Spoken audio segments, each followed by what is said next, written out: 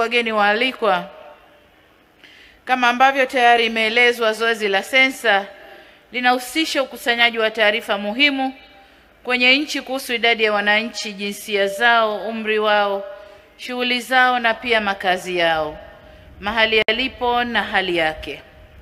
Na zoezi hili siyo geni kwetu, limekuwepo duniani tangu karne na karne.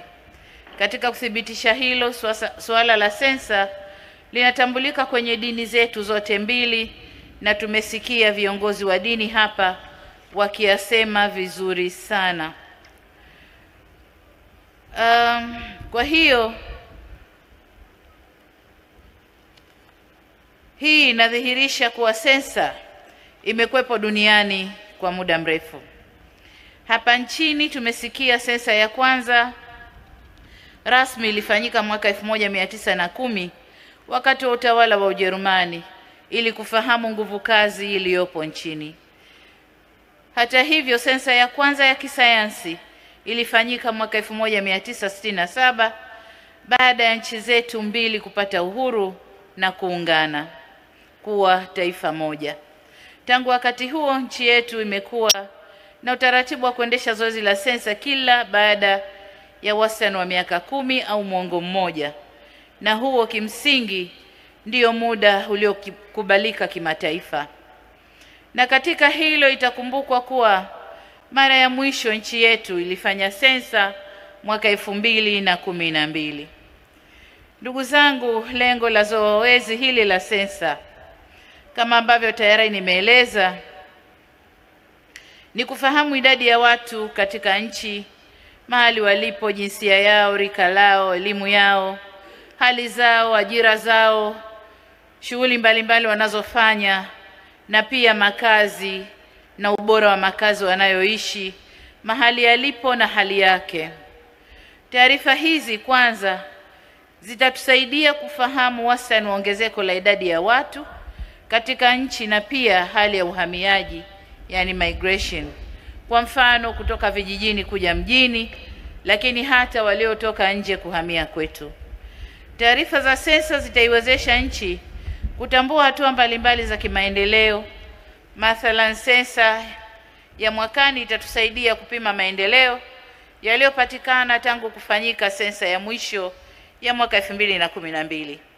Zaidi ya hapo, itatuwezesha serikali kuandaa sera, mipango mipya ya maendeleo ya muda mfupi, wakati na muda mrefu, na jinsi ya kuitekeleza na pia kufuatilia na kupima utekelezaji wa mipango hiyo.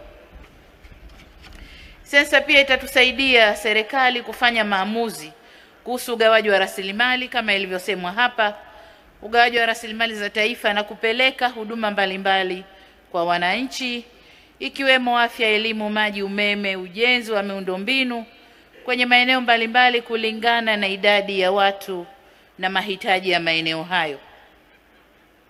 Ni ukweli kuwa kama huna hesabu au takwimu sahihi, huwezi kugawa rasilimali na kutoa huduma kwa haki, uwiano na inavyopaswa zitolewe. Huwezi kushughulikia changamoto ya ajira endapo hujui ama huna taarifa au takwimu sahihi za watu wasio na ajira. Huwezi kama nilivyosema, kupeleka huduma zozote, kushughulikia matatizo ya watu wenye mahitaji maalum, kama vile vile huna idadi ya watu hao wenye mahitaji maalum kama wazee na watu wenye ulemavu. Ndugu zangu, mbali na serikali, taarifa za sensa zinatumiwa pia na jumuiya za kimataifa, sekta binafsi na asasi za kiraia kufanya maamuzi mbalimbali ya kimaendeleo. Kwa mfano, wafanya biashara na wawekezaji hutumia taarifa za sensa kufanya maamuzi ya aina ya biashara na uwekezaji, wawekeze wapi na kwa kiasi gani. Aidha, kikanda na kimataifa, taarifa za sensa zinatumika kupanga, kufuatilia na kupima utekelezaji wa sera, mipango, mikakati na programu mbalimbali za kimaendeleo.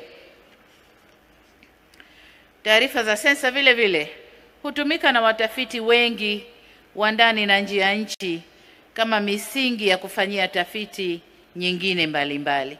Na ndiyo maana tunasema sensa ni maendeleo, na tunaomba watu wote wajiandae kuhesabiwa, na tumwombe Mwenyezi Mungu atufikishe huko ili tuweze kuhesabiwa.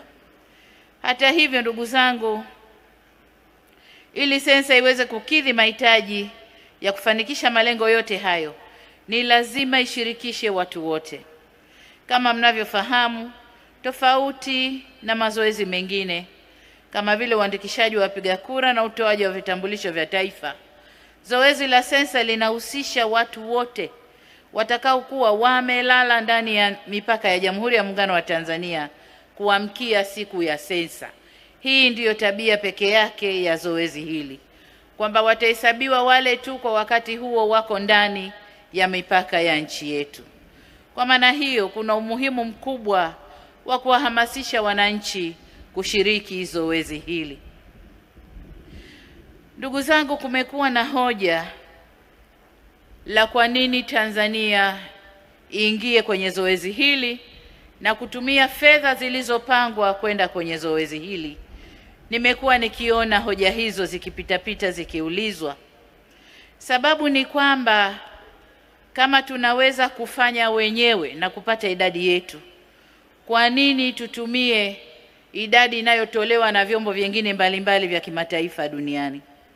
Kwa sababu unapopanga mipango na kuweka idadi ya watu, lazima uweke chanzo umekipata wapi. Inapendeza zaidi ukisema chanzo ni sensa iliyofanywa Tanzania mwaka fulani kuliko kusema chanzo ni taasisi fulani iliyotoa taarifa hizo.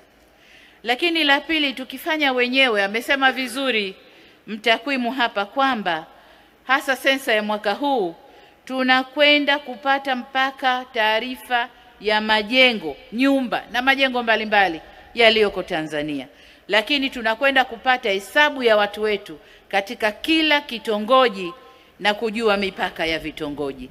Hayo hayataweza kufanywa na sensa zinazofanywa au takwimu zinazotolewa na taasisi mbalimbali ulimwenguni.